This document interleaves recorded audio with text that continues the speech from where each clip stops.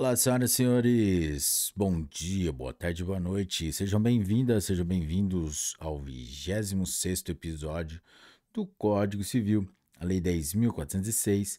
E hoje nós vamos dos artigos 997 até o artigo 1027. Mas antes de começarmos, não se esqueçam de se inscrever no canal, ativar o sininho para receber as notificações e compartilhar com seus melhores amigos. Vamos lá? Subtítulo 2 da Sociedade Personificada.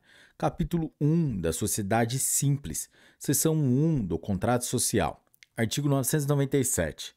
A sociedade constitui-se mediante contrato escrito, particular ou público, que, além de cláusulas estipuladas pelas partes, mencionará: inciso 1.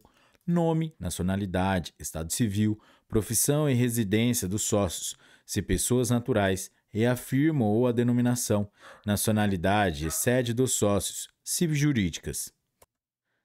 Inciso 2. Denominação, objeto, sede e prazo da sociedade. Inciso 3. Capital da sociedade, expresso em moeda corrente, podendo compreender qualquer espécie de bens suscetíveis de avaliação pecuniária. Inciso 4. A cota de cada sócio no capital social e o modo de realizá-la. Inciso 4. Inciso 5. As prestações a que se obriga o sócio, cuja contribuição consista em serviços. Inciso 6. As pessoas naturais incumbidas da administração da sociedade e seus poderes e atribuições. Inciso 7. A participação de cada sócio nos lucros e nas perdas. Inciso 8. Se os sócios respondem ou não subsidiariamente pelas obrigações sociais. Parágrafo único é ineficaz a, em relação a terceiros qualquer pacto separado, contrário ao disposto no instrumento do contrato. Artigo 998. Nos 30 dias subsequentes à sua constituição, a sociedade deverá requerer a inscrição do contrato social no registro civil de pessoas jurídicas do local de sua sede. Parágrafo 1. O pedido de inscrição será acompanhado do instrumento autenticado do contrato e, se algum sócio nele houver sido representado por procurador ou da respectiva procuração, bem como, se for o caso, da prova de autorização da autoridade competente. Parágrafo 2. Com todas as indicações enumeradas no artigo antecedente, será a inscrição tomada por termo no livro de registro próprio e obedecerá ao número de ordem contínua para todas as sociedades inscritas. Artigo 999. As modificações do contrato social que tenham por objeto matéria indicada no artigo 997 dependem do consentimento de todos os sócios. As demais podem ser decididas por maioria absoluta dos votos. Se o contrato não determinar a necessidade de deliberação unânime. Parágrafo único. Qualquer modificação do contrato social será averbada, cumprindo-se as formalidades previstas no artigo antecedente. Artigo 1000. A sociedade simples que instituir sucursal, filial ou agência na circunscrição de outro registro civil das pessoas jurídicas, neste deverá também inscrevê-la, com a prova da inscrição originária. Parágrafo único. Em qualquer caso, a constituição da sucursal, filial ou agência deverá ser averbada no registro civil da respectiva sede. Seção 2 dos direitos e obrigações dos sócios. Artigo 1001. As obrigações dos sócios começam imediatamente com o contrato, se este não fixar outra data, e terminam quando, liquidada a sociedade, se extinguirem as responsabilidades sociais. Artigo 1002. O sócio não pode ser substituído no exercício das suas funções se o consentimento dos demais sócios, expresso em modificação do contrato social. Artigo 1003.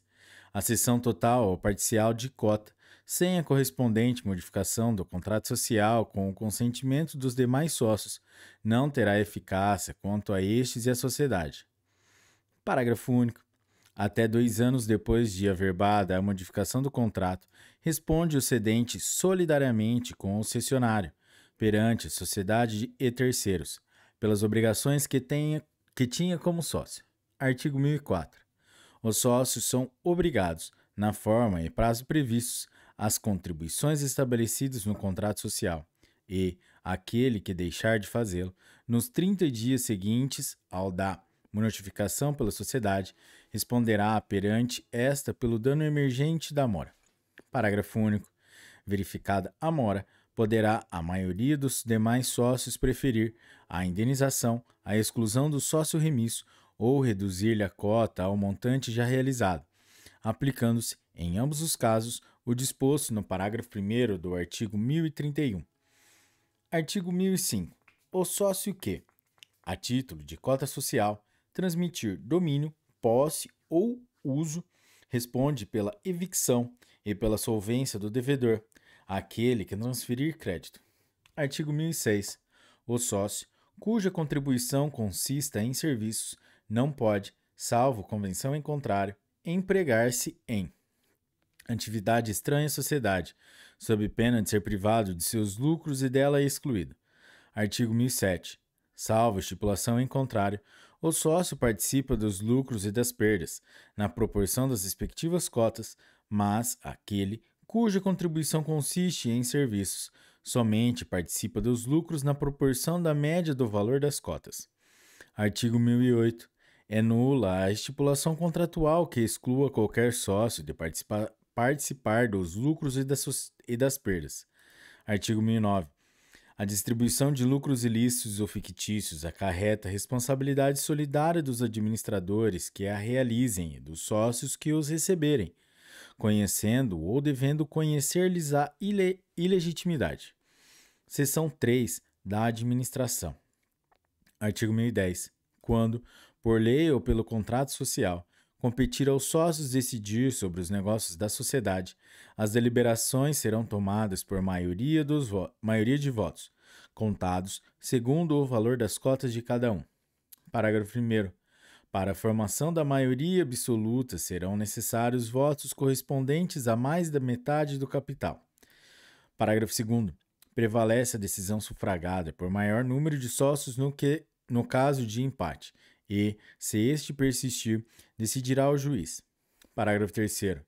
Responde por perdas e danos o sócio que, tendo em alguma operação interesse contrário ao da sociedade, participar da deliberação que a aprove graças a seu voto. Artigo 1011. O administrador da sociedade deverá ter, no exercício de suas funções, o cuidado e a diligência que todo homem ativo e probo costuma empregar na administração de seus próprios negócios. Parágrafo 1. Não podem ser administradores, além das pessoas impedidas por lei especial, os condenados à pena que vede, ainda que temporariamente, o acesso a cargos públicos, ou por crime falimentar, de prevaricação, peita ou suborno, concussão, peculato ou contra a economia popular, contra o sistema financeiro nacional, contra as normas de defesa da concorrência, contra as relações de consumo, a fé pública ou a propriedade, enquanto perdurarem os efeitos da condenação. Parágrafo 2. Aplicam-se a atividade dos administradores, no que couber, as disposições concernentes ao mandato. Artigo 1012. O administrador, nomeado por instrumento em separado, deve averbá-lo, à margem da inscrição da sociedade, e, pelos atos que praticar, antes de requerer a averbação, responde, pessoal e solidariamente com a sociedade. Artigo 1013. A administração da sociedade, nada dispondo o contrato social, compete separadamente a cada um dos sócios. Parágrafo 1. Se a administração competir separadamente a vários administradores, cada um pode impugnar a operação pretendida por outro, cabendo a decisão aos sócios, por maioria dos de votos. Parágrafo 2. Responde por perdas e danos perante a sociedade o administrador que realizar operações, sabendo ou devendo saber que estava agindo em, em desacordo com a maioria. Artigo 1014 nos atos de competência conjunta de vários administradores, torna-se necessário o concurso de todos, salvo nos casos urgentes em que a omissão ou retardo das providências possa ocasionar, ocasionar dano irreparável ou grave. Artigo 1015. No silêncio do contrato, os administradores podem praticar todos os atos pertinentes à gestão da sociedade, não constituindo objeto social a oneração ou a venda de bens imóveis depende do que a maioria dos sócios decidir. Parágrafo único. Revogado. Artigo 1016. Os administradores respondem solidariamente perante a sociedade e aos terceiros prejudicados, por culpa no desempenho de suas funções. Artigo 1017. O administrador que, sem consentimento escrito dos sócios, aplicar créditos ou bens sociais em proveito próprio ou de terceiros, terá de restituí-los à sociedade, ou pagar o equivalente com todos os lucros resultantes e, se houver prejuízo, por ele também responderá. Parágrafo único. Fica sujeito a sanções o administrador que, tendo em qualquer operação interesse contrário ao da sociedade, tome parte na correspondente deliberação. Artigo 1018. Ao administrador é vedado fazer-se substituir no exercício de suas funções, sendo-lhe facultado, nos limites de seus poderes, constituir mandatários à sociedade, especificados no instrumento os atos e operações que poderão praticar. Artigo 1019.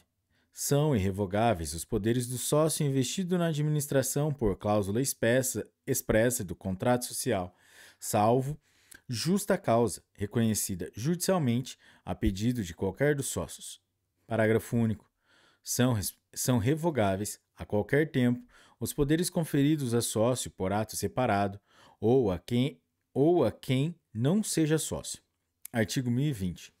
Os administradores serão, são obrigados a prestar aos sócios contas justificadas de sua administração e apresentar-lhes o inventário anualmente, bem como o balanço patrimonial e o de resultado econômico. Artigo 1021. Salvo estipulação que determine época própria, o sócio pode, a qualquer tempo, examinar os livros e documentos e o estado, de ca... estado da Caixa e da carteira da sociedade. Seção 4 das relações com terceiros. Artigo 1022.